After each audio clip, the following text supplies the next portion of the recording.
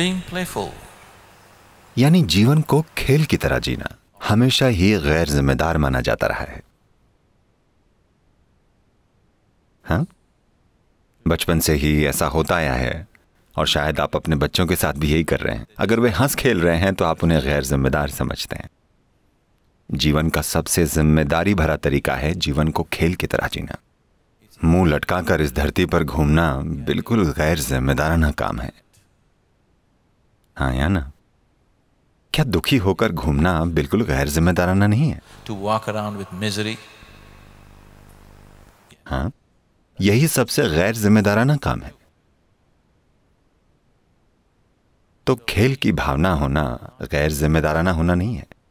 Playful होना जीवन के प्रति बहुत जिम्मेदार और जवाबदेह होना है। खेल की भावना होगी तभी आप ऐसा कर पाएँगे। आप गंभीर होंगे तो दुनिया आपके लिए होगी ही नहीं। बस आप और आपकी बकवास होगी। हाँ? गंभीर होने पर बात सिर्फ़ आपकी और आपकी बकवास की होती है। दुनिया और दूसरे प्राणी आपके लिए मौजूद नहीं होते। जब आप जीवन को खेल की तरह जीते हैं, तभी आप हर चीज़ पर ध्यान दे पाते हैं और तभी आप हर चीज़ का सही मायने में जवाब दे पाते हैं। सिर्फ़ तब जब आप प्लेफुल होते हैं, वरना आप ये नहीं कर पाएँगे। आप इसके बोझ तले ही मर जाएँगे। तो खेल भावना कोई फिलॉसफी नहीं है जिसे विकसित किया जा सके। मुझे खेल की तरह जीना है, मुझे खेल की तरह जीना है। विज्ञान बता रहा है कि सारी सृष्टि ऊर्जा का एक नृत्य है। ऐसा लगता है कि सृष्टि को बनाने वाली शक्तियाँ हमेशा खेल भाव में रहती हैं। इस संस्कृति में हमेशा सृष्टि को ईश्वर का खेल बताया गया है। भगवान का खेल, यानी कई लोगों ने सोचा, ओ, वो मूर्ख मेरे जीवन के साथ खेल रहा है, तभी इतना दुख है। सृष्टि की शक्तियाँ हमेशा खेलती रहती हैं। अगर वे खेलना बंद कर दें तो आप खत्म। हाँ? इसमें सभी बुनियादी ताकतें शरीर के भीतर भी, जब वे पूरे जोश से खेलेंगी, तभी कुछ अच्छा होगा। Everything is nice. अगर वे खेलना बंद कर दें या खेलने से इनकार कर दें तो आप खत्म, खेल खत्म। तो जीवन को खेल की तरह जीना सिर्फ़ एक रवैया नहीं है। ये आपका रवैया नहीं है, ये रवैया सृष्टा का है, ये रवैया सृष्टि का है। अगर आप सृष्टि और सृष्टा के साथ तालमेल में होंगे तो खेल भाव में होना बहुत स्वाभाविक होगा। जब आप इसके तालमेल में नहीं होते, कहीं आप पूरी तरह से अपने मन की प्रक्रिया अपने विचार अपनी राय अपने विचारधाराएँ अपने सही और गलत अपनी नैतिकता के गुलाम बन जाते हैं तभी आप अपनी खेल भावना खो देते हैं। अगर आप जीवन के साथ होंगे जब आप सृष्टि और सृष्टा के तालमेल में होंगे तो आप स्वाभाविक रूप से खेल भाव में रहेंगे। आप पूरी सृष्टि को अनदेखा करके अपनी छोटी सी सृष्टि से जुड़ चुके हैं, जो यहाँ चल रही है। तभी हँसी खेल गायब हो गया है। अगर आप सृष्टि के साथ तालमेल में होंगे तो जीने का कोई दूसरा तरीका नहीं होगा। आप जीवन को खेल की तरह जिएँगे। जो जीवन को खेल की तरह जीता है, सिर्फ़ वही व्यक्ति दुनिया में मुश्किलों के साथ मुठभेड़ कर सकता है। बगैर उनसे प्रभावित हुए, अपना बेहतरीन योगदान दे सकता है। अगर वो खेल भाव नहीं जानता तो वो मुश्किलें उसे खा जाएँगी। दुनिया में जो मुश्किलें हैं, वो सरल नहीं हैं। अगर आप ज़रूरी खेल भाव के बिना उनसे जूझना चाहेंगे तो ये कभी मत सोचिएगा कि आप उन्हें हल कर पाएँगे। वो समस्याएँ आपको खा जाएँगी। सिर्फ़ यही होगा। वे कई लोगों को खा चुकी हैं, ऐसा है कि नहीं? अच्छे इरादे वाले कई लोगों को खा चुकी हैं, कितनों को निगल चुकी हैं? क्या ऐसा नहीं हुआ? दुनिया की ये मुश्किलें बहुत अच्छे इरादों वाले कई लोगों को मौजूदा हालातों ने निगल लिया है। By the existing situations. आप उन्हें तभी संभाल पाएँगे जब आप वाकई प्लेफुल होंगे वरना हर चीज़ परेशानी होगी। अगर आप बस कुछ घंटे अपना काम खेल भावना से करेंगे तो आप पाएँगे कि आपका शरीर भी काफ़ी बेहतर काम करेगा। आपकी नींद का कोटा कम हो जाएगा। और जीवन को खेल की तरह जीता हुआ व्यक्ति स्वाभाविक रूप से ध्यान कर पाता है। क्योंकि जब आप खेल भाव में होते हैं, तब आप अपने काम में उलझते नहीं हैं। जब आप उलझते नहीं हैं, तब कर्म बंधन नहीं बनते। कर्म योग होता है। तब जीने की प्रक्रिया उलझाने के बजाय ये आपको मुक्त कर दी जाती है। यानी आप कर्म करने के बजाय अपने काम की मदद से योग कर रहे होते हैं। जब आप दिन भर योग कर रहे होते हैं तब सब कुछ ज़रूर बेहतर होता जाएगा है ना? शुरुआत में जिसे अभ्यास नहीं हुआ है उसके लिए काम ज़रूरी है. और अगर आप खेल भाव से काम नहीं करेंगे तो काम हमेशा परेशान कर देगा। Always. चाहे काम कोई भी हो। किसी भी स्थिति से गुजरने के कई तरीके हैं। महाभारत में बहुत अच्छे से बताया गया है अलग अलग इंसान एक ही परिस्थिति से कैसे गुजरते हैं।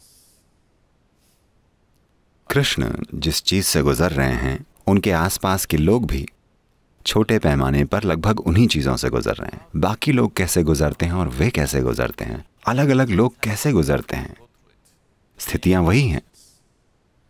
महाभारत ये चीज़ बहुत अच्छे से समझाता है कि कैसे चेतना के विभिन्न स्तरों पर लोग एक ही परिस्थिति से किस तरह से गुजरते हैं.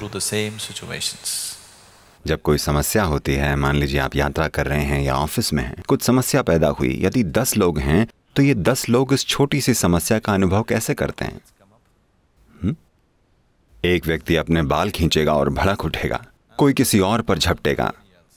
कोई अपना सिर पीटेगा। कोई व्यक्ति ये देखेगा कि वो क्या कर सकता है। क्या आपने ये देखा है? स्थिति एक ही है। तो बुनियादी तौर पर यही महाभारत है।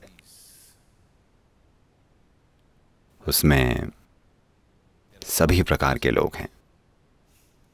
अच्छे लोग, बुरे लोग, बहुत बुरे। बिल्कुल धार्मिक, हर तरह के लोग। अगर आप ध्यान दें तो हर तरह के इंसान जो आप किसी भी समाज में पा सकते हैं, वे सभी महाभारत में हैं, हर तरह के लोग। लालची, बिल्कुल निस्वार्थ, डरपोक, बहादुर योद्धा, कायर, हर तरह के लोग। Every kind are there. और वे एक गहरे नाटक से गुजर रहे हैं। और हर एक का अनुभव बहुत अलग है। और उनका चीज़ें संभालने का तरीका और अंत में जो उनके साथ होता है, वो बहुत अलग है। पूरे महाभारत में कृष्ण सबसे ज़्यादा नाटक से गुजर रहे हैं। पर वे उससे अछूते हैं। क्योंकि उन्होंने कहा था, योगस्थ कुरु कर्माणी यानी योग में स्थापित होकर कर्म करो. अगर आप योग में खुद को स्थापित किए बिना काम करेंगे तो आपके काम आपको उलझा देंगे काम चाहे जो भी हो। लोग अपने जीवन में सरल चीज़ें कर रहे हैं। आखिरकार ज़्यादातर लोग दुनिया में पचानवे प्रतिशत लोग जो कुछ भी करते हैं वो सिर्फ़ जीवन चलाने के लिए पैसा कमाना बच्चे पैदा करना बच्चों की परवरिश। बस। बस ये छोटा सा नाटक जो उन्होंने चुना है. यही वे चाहते थे। एक छोटा सा व्यवसाय या नौकरी एक घर पत्नी बच्चे पति बस यही। इसके लिए उन्होंने अपना क्या हाल बना लिया है? कई तो पागल खाने पहुँच जाते हैं। बस ये सरल काम करते हुए ऐसा है कि नहीं? हाँ? वे दुनिया की समस्याएँ नहीं सुलझा रहे हैं। Problems of the world. वे दुनिया में धर्म स्थापित करने वाले धर्मगुप्त नहीं बनना चाहते। उन्होंने इतनी बड़ी ज़िम्मेदारी नहीं ली है। बस अपनी जीविका कमाना जीवन चलाना बच्चे पैदा करना और मर जाना जो धरती का हर प्राणी करता है। बस वही करते हुए उनकी क्या हालत हो गई है? कितने लोग पागल हो गए हैं. कितने आधे पागल हो गए हैं? हाँ कई लोग हैं है ना?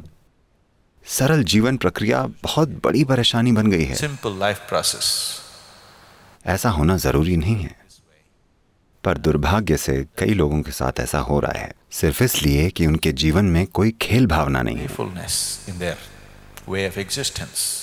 उनके जीवन के तरीके में प्लेफुलनेस नहीं है।